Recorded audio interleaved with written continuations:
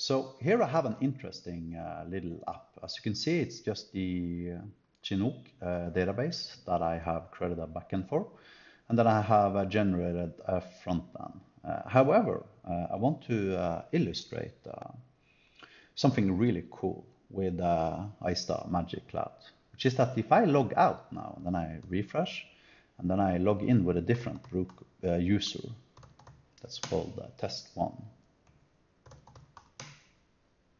then uh, all of a sudden uh, you see I have access to significantly smaller amounts of uh, components. And if I go into the individual components, for instance, if I choose uh, invoice line here or uh, media type, you see I don't have the delete icon. If I go back to invoice line, I can delete items. If I go to media type, I cannot delete items. If I expand one of my items in media type, you see I can edit it. But if I go to invoice line and I expand that item, I cannot edit the item. If I go to, if you watch carefully this plus button here, I can create a new invoice line here, but if I go to Genre, I don't have a plus button. So what's happening here?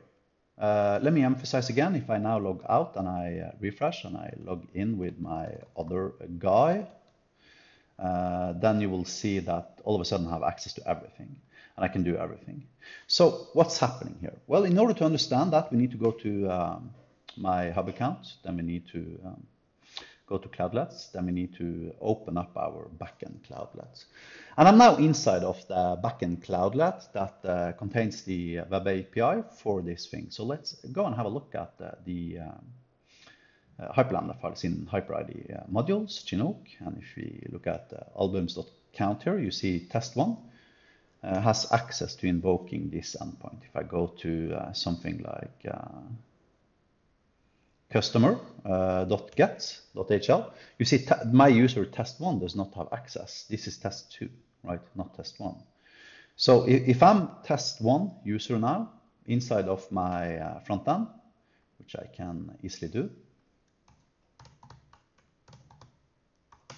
then uh, and now I need to refresh because of the Angular uh, uh, guard.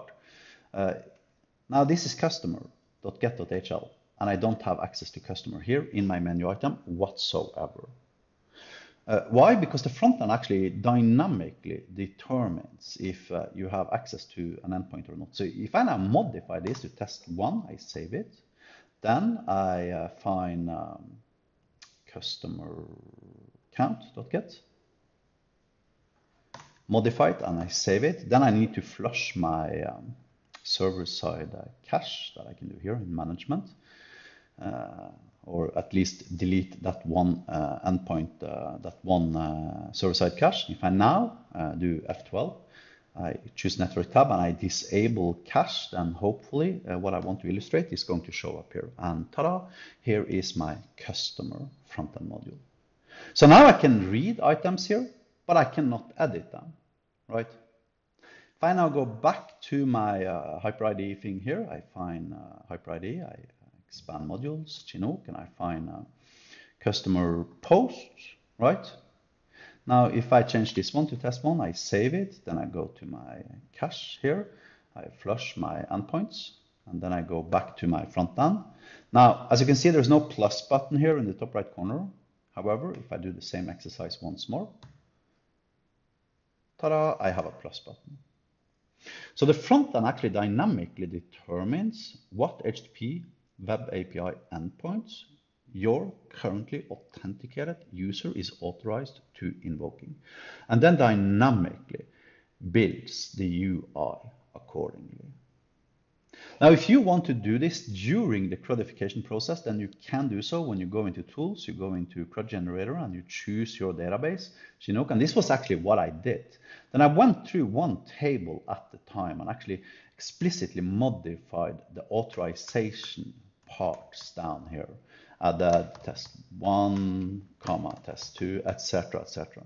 And then when I'm CRUDifying uh, this particular table and or all tables, then automatically Magic associate these uh, roles with the invocation of that particular endpoint as you are generating your front end later, then Magic will generate a front end that uh, initially downloads the authorization requirements for every single endpoint. And in fact, I can show that now. If I go here now, I uh, empty my uh, network tab and I do control R. And then if I look at endpoints here now and preview, you will see, uh, oops, let's uh, find the correct one you will see that actually Magic returns every single endpoint in the system and more importantly, its authorization requirements. And actually the frontend only renders components that are, first of all, obviously CRUD type of components. Secondly, endpoints that I'm legally allowed to invoke. However, even after you have CRUDified, you can also go into Hyper IDE and you can actually modify this as you see fit. If I go to album-count.get.hl now, what you're looking at here at line 18 of .ticket.verify is basically a comma separated list of every single role in my particular backend that are legally allowed to invoke this endpoint, which again, of course, propagates to the front end generator and the front end, uh, allowing me to actually have 100% fine-tuned control over who are allowed to do what and what they're allowed to see in the front end. And of course, what I actually did was that I went uh, to, to create a test one role, which obviously doesn't exist in the system by default, was that I went to management, I opened up users and roles, then I created my test one role here by clicking the plus. I can create any role I want to here, test two, and then I can uh, create new users, test two, test two, and then I can associate that user with uh, any roles I want to by expanding it and clicking this guy and add to role, and then I have a list of all my roles here. So anyways, uh, that was it for today's video. Thank you for watching. Have a nice day.